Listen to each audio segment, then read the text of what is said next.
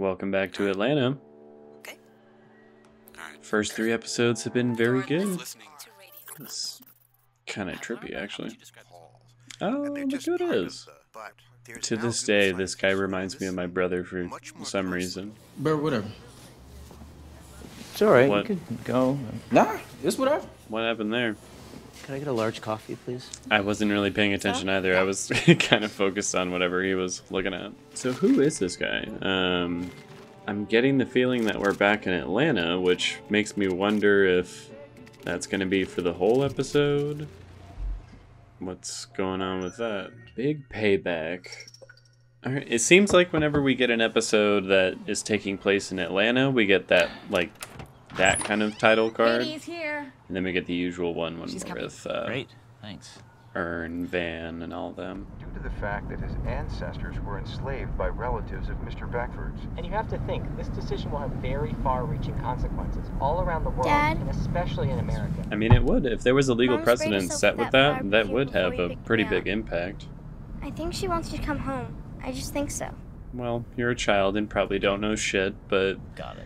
maybe, maybe you heard something. I'll talk to her about it. Oh, that was kind of sweet. I tend to do the same with unknown numbers. It's nothing personal. Just get so many scam calls. So far, they're killing it on the sound design of this episode. No- Okay, so why is there someone following him? What's going on? I've been told that HR will be This is ridiculous. Jesus. Now I know Ideas are forming. I don't want to speak too soon on it though. Um, I kind of want to see where they. There's a rumor push they're being story sued with forward. the same clause that got the Tesla guy litigation. Now they can just look you up and force you to pay. That would be scary, but I have more to say on that. Again, I I kind of want to wait and see how they Not a care in they the go world. about this. Oh Aren't fuck worried? you! Not a care in the world. I don't think you I know you'll fire us understand. To see flames. D- oh, my lord. Ugh. Lady, you are shooting my anxiety through the roof. I need you to stop. We're Austro-Hungarian. We were enslaved during the Byzantine Empire. Nah, I don't think that's really gonna hold up. Hungry and demand money now? kind of a lot different. mm-hmm. I like a lot of cheese on my pasta as well. Gonna get an answer to who this is. I'm assuming someone coming for him for some um, reparations, but maybe not. Maybe that's a misdirect.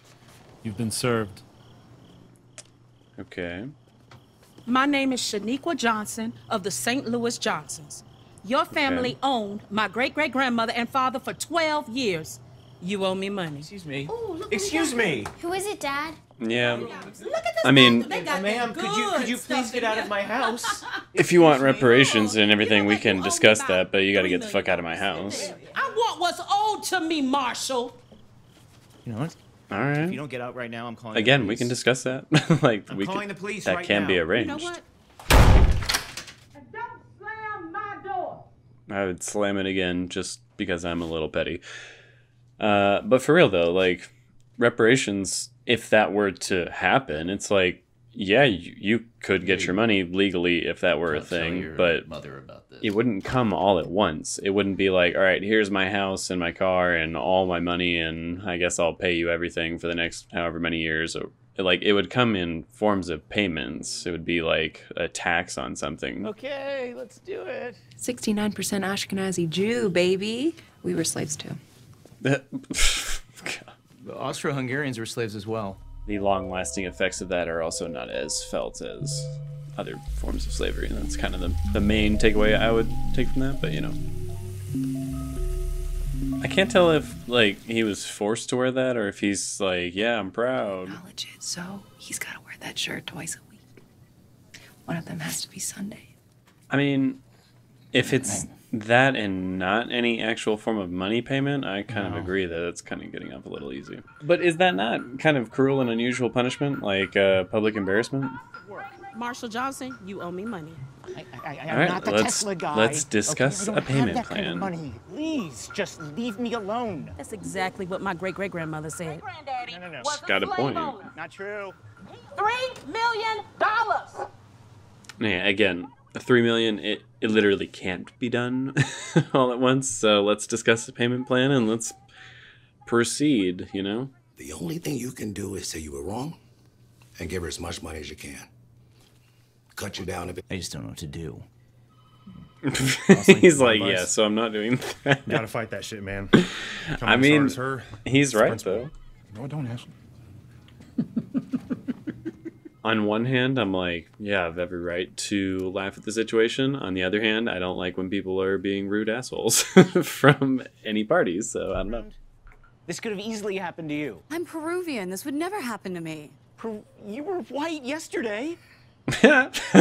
Okay, look, can we just For all the white people out there inside and just grasping at straws, trying to be a minority. about- I can't have my finances take a hit. Are you serious? Wait, what?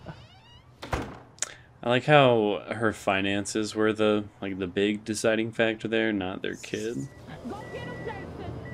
Go get him. Yeah, see, again, I'm like, I'm all for the doing some payments, but um, get the fuck away from my house. Like, I don't know. Oh my god! You're in a car, dude. He's not gonna fucking catch you. It's an interesting way to show this whole thing. Because on one hand, you're definitely sympathetic for him. You're like, this is, you know, unfair. He seems like a good enough guy.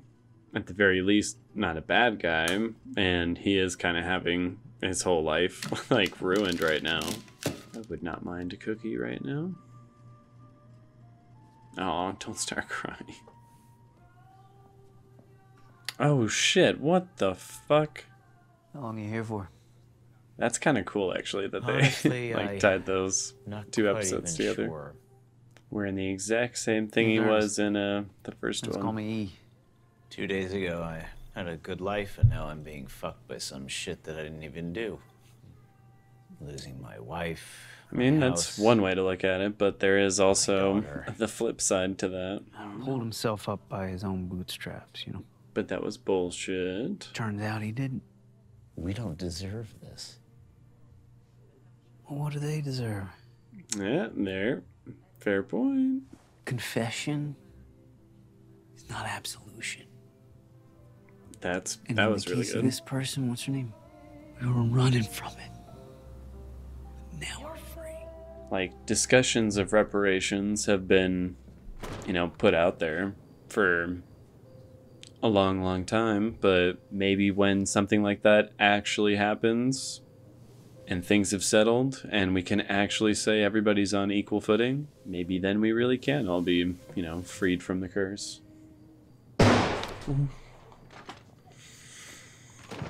That really really took me by surprise. Oh, I didn't know what he was doing in the background. It's actually probably really true if uh, real reparations like this ever came to be. I bet you there'd be a lot of white people who would just straight up kill themselves. And who is this? Everyone has a portion of their paycheck going to restitution taxes. Stay after. Uh, see? What did I say? What did I say? Okay, and percentage? 15%? 15%? I mean, to be clear, I wouldn't want 15% of my paycheck to go anywhere but me either, but if it helps to, like, repair the wrongs that have never healed, then shit, let's do it. They actually. Okay. okay. so everyone on the line is person of color, it seems. That looks so good, actually. Oh, this is the song that was uh, at the end of Us. All right. That was, again, way different than I expected, but I actually enjoyed it a lot. Well, it was quite an interesting episode. Once again, I think it was risky of them to diverge away from the main group again, but the fact that they've now done it twice and at seemingly kind of random moments during the season, I kind of get the feeling that we're going to be doing this a lot. like, this will not be the last time that we um, completely diverge away from the four main characters in order to go back to Atlanta and explore this sort of what if world that they have going on. And on one hand, I like that it lets them explore some, you know, fun, interesting concepts. Like here was pretty much like a, it was almost like a Twilight Zone kind of episode. Like, what if this really came to be? I had to show this to my dad. This would freak him the fuck out. It'd be kind of funny. In the intro scene, it seems like the uh, cashier was. I can't tell if she was just overtly being racist and telling the guy to get to the back of the line for no reason, or what exactly was going on there. I mean, it was intentionally like muffled that entire conversation because the main character himself was not really paying attention. Which might be the point. It might be like, you know, he's lost in his own world and doesn't even witness, you know, something that actually has happened to someone.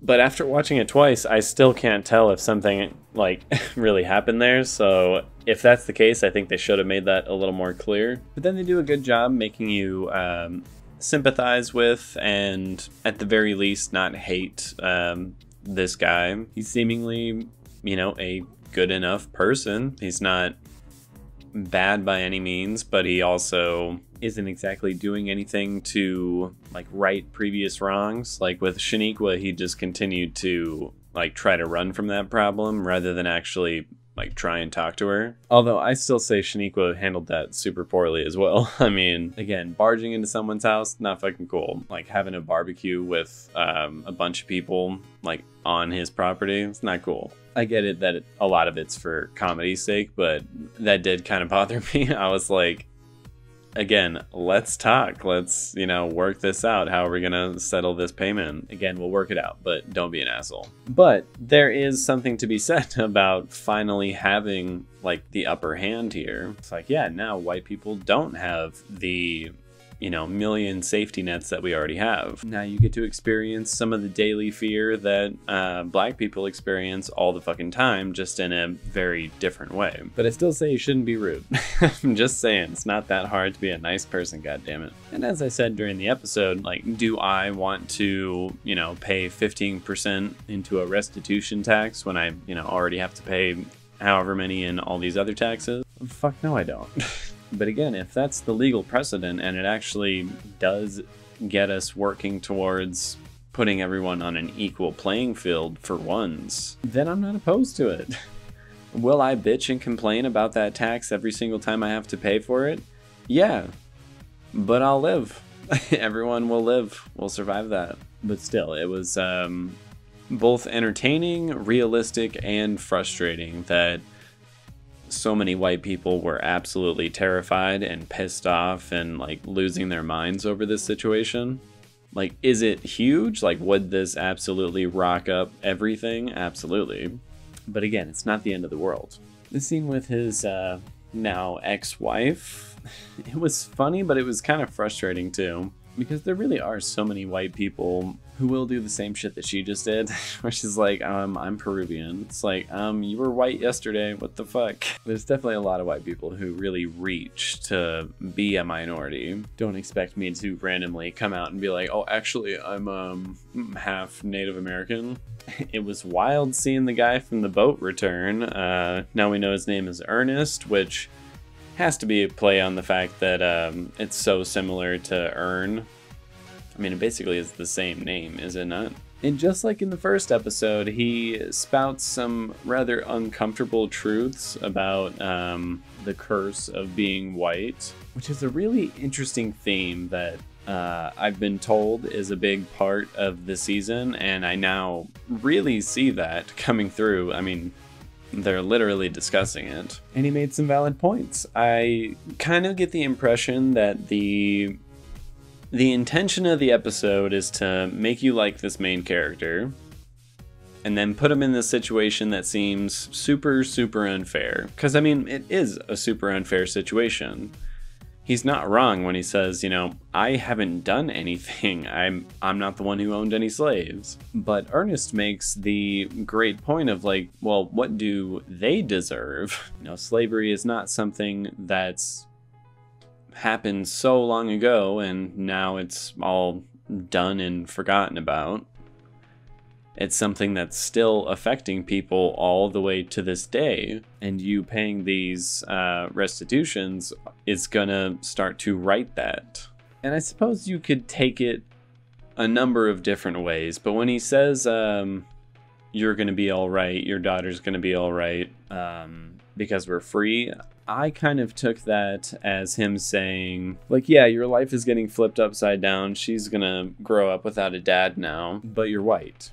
so you're gonna be okay. This safety net has been taken away, but there still are several others that are a part of the system. Again, I could be wrong about that because I think you could also read that as him sort of implying to him like yeah you could kill yourself too and you know be free of all this. Maybe it's just a double meaning. I don't know. And then in the final scene it um in my opinion it was a little too on the nose but i suppose one could argue that it wasn't. But it basically showed that you know all the like waiters and waitresses up front they're all white serving uh, black parties and the jobs that are filled on the line are all people of color kind of showing that wealth has shifted to a completely different party. But at the same time they've shown that uh, our main character and other people have adjusted to this all it wasn't the end of the world, but it was a complete shift in the way everything works. Yeah, I mean, I do think that final scene could be interpreted a number of different ways, but again, I saw it as things have changed dramatically, but you know, the world moves on. People didn't get killed from this. It just changed it up quite a lot, and maybe not in a way that some people really like. But let's move into the technicals writing in this episode, I think there were some bold risks taken, again, diverging away from the main cast, hitting this topic, which I'm sure is gonna piss some people off, but I, again, I'm sure that's the point as well. But there were some things about the script that either were lost on me or I think were just a little too vague. For me, that opening scene, I'm still kind of like, if they wanted to show that he was ignoring you know, a problem happening. And I think they should have shown the problem happening rather than completely be from his perspective of just not even noticing it. Because I don't know if there was a problem or not. and I'm, that whole first scene is a little strange to me because of that. Same thing with the final scene. Um, I think it makes sense to be a little ambiguous with it, but I think I could have used maybe just one more scene to show how he has adjusted to the new norm. You know, again, to show whether he is all right or he's, you know, completely not. Just give me more of a gauge where he's at so I know what you're trying to say with the story. Like, I feel like I understand, but there's a little hint of doubt because I feel like they were lacking maybe just one more scene to, you know, affirm how he's doing. Character motivations seem pretty strong. Because in general, it was kind of like generalizing character motivations across groups of people rather than single characters, except for our main one. Like showing how some white people were just so angry and upset over this happening. The bullshit um, excuses that everyone's heard like a million times in a million different situations. And then, of course, there's the character of Ernest, who I mean, I feel like it'd be pointless even trying to come up with a character motivation for him. He's just. he's one of those people you're like, is he even real? Is it just, you know, some surreal hallucination, ghost type situation? So for him to come in and have this very moving uh, monologue, I think is actually like spot on for that character. Plot progression, uh, there's none. Um, we don't see our main characters at all. It's completely a side story. It's again just to explore a different concept. And pacing, um, I do think the pacing was too slow. There were some parts here where I was like, I'm getting bored. I probably wouldn't if we had our main characters, but because we don't, some of these scenes are really dragging for me. Don't get me wrong, I still think the pacing was acceptable, like it was a good episode. The writing overall was strong but there were definitely a lot of scenes this time around where I was like, all right, come on.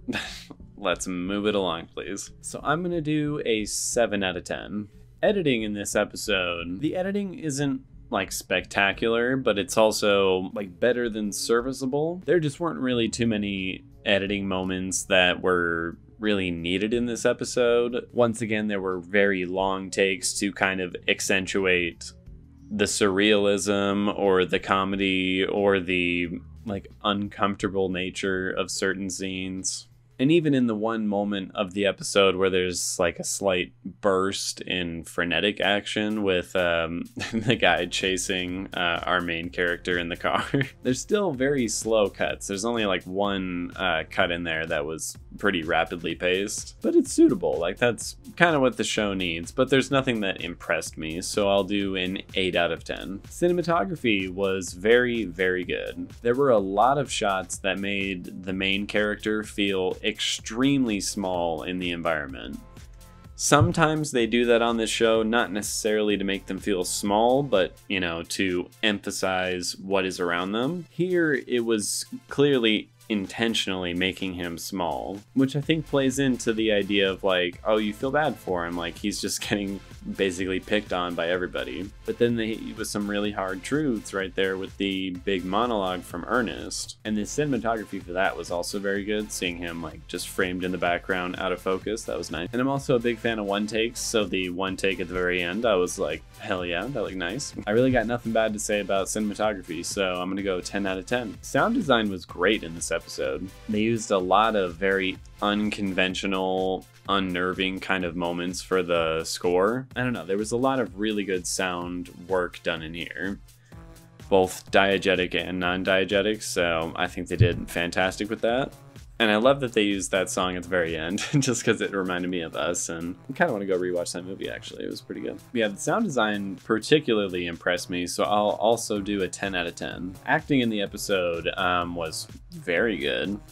I'm not sure the name of the actor who plays uh, Ernest, but I thought he did a very, very good job there at the end. So unnaturally friendly. Just makes it so creepy. Um, even though he is again spouting some hard truths and in many ways it's like oh this guy actually kind of gets it. And then he kills himself because he seemingly can't deal with the new norm. But justin bartha also did a fantastic job. Um, you know, as our main character. Oh, wait a second. And just now, uh, after skimming through again, I noticed there in the first scene, he accidentally like pockets the little cookie things that he found. And so he basically, you know, gets away with shoplifting where the the black guy in the scene gets sent to the back of the line but i still say they should have made that more clear as to what was going on with that because i don't know what was going on with him. But i do think it's interesting that they showed how easily our main character got away with um,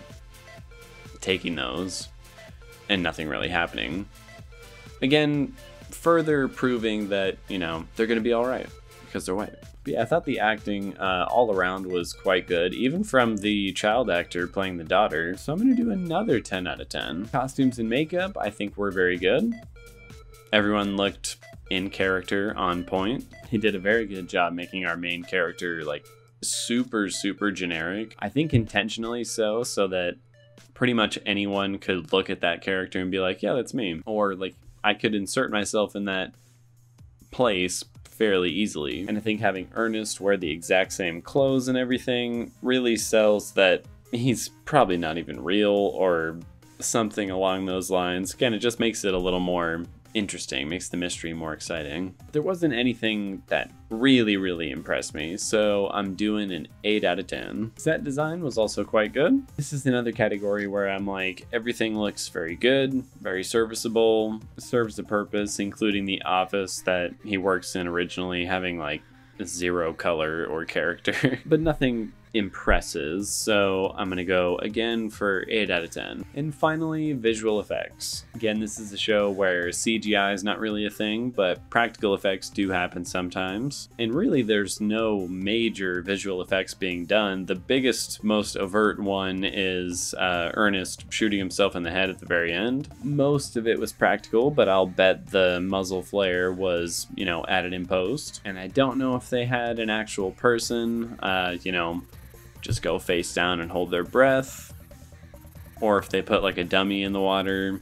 I also get the impression that the blood that's uh, like filling up the pool is probably a digital effect, but maybe not. Either way, it looks quite good. I, I was not impressed by it per se, but I was I was very satisfied with it.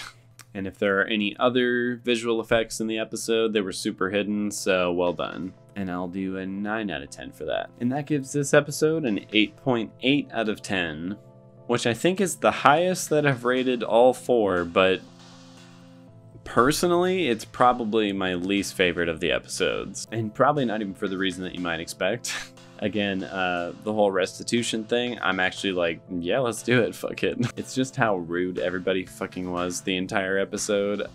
And the fact that we didn't get any of the main characters again. I don't know how many episodes there are in this season, but I'm like, come on, man, I wanna I want to see Earn. I want to see Van. What are Darius and Al doing? Like, come on, man. But it was still a very well told story, and it is stuff that is important to talk about. So I didn't hate it by any means, but out of the four, personally, it's my least favorite. But I think objectively, it might be the strongest of the bunch. No point really in predicting what's going to happen next week. This was completely like an anthology story, so whatever we get next week could be really anything. like, I would assume we're going to return to the main group because if they go two in a row um, without them, that's. I think that is going to be asking too much of the audience at that point. Either way, I'm excited for whatever's coming up. I'm sure it's going to be good, even though I said this is my least favorite of the four that we've seen. I still really liked it. Like, the show is very, very well made. And I just recently heard news that season four is going to be the last season of the show, and that is a damn shame. so let's enjoy it while it lasts. I'll see you all in that next episode, and that's about it.